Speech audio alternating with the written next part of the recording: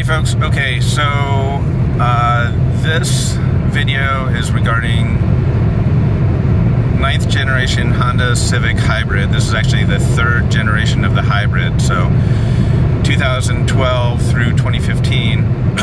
and um, we're on a trip, we're away from home, and uh, we, we got a number of uh, warning lights. Um, so we got the IMA system, 12 volt battery light, check engine light, brake light, and then over here on the, uh, on the display, we got a number of, there we go, check charging system, check IMA system, check brake system, and some other things.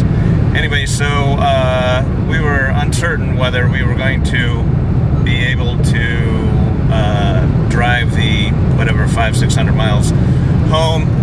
And uh, after some research and um, some uh, actual driving around here's what we found. So in our case uh, the DC to DC converter that keeps the 12 volt battery charged that is still functioning. Um, and that means that the inverter in one direction where uh, it's using the uh, the motor that normally assists driving the drivetrain. That motor is generating power and is feeding it back through the inverter to supply voltage to the uh, DC to DC converter, and that's keeping the 12 volt battery running. If the 12 volt battery stops, uh, runs dead, you're screwed. And so uh, here's here's something that's important though. Cruising along at highway speeds, and the RPM is staying between the range of about 1500 to 3000 RPM. That is the range in which the DC to DC converter will keep the uh, the 12 volt battery charged.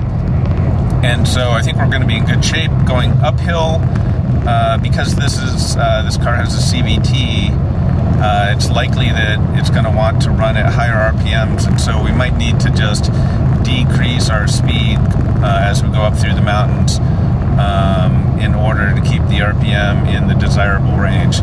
But for right now, um, you know, you can see that the uh, hybrid battery is completely disconnected. There's no power going to it nor coming from it. Um, and we've got all these warning lights.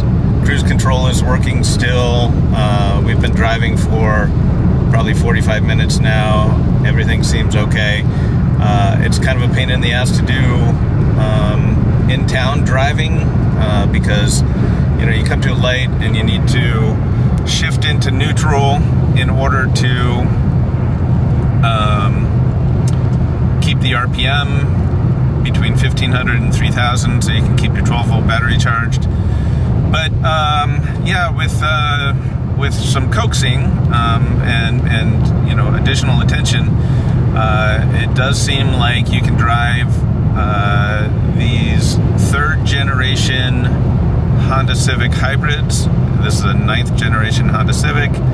Um, ours is actually a 2013 and uh, it seems like you can drive those for an extended period of time. Yeah, so here we go. Here's a case where we just went up a hill and the RPM went up a little bit above 3,000 um, for a short transient uh, bit like that, no problem. The 12 volt battery has a charge.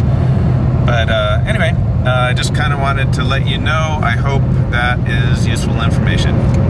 That's all. Bye.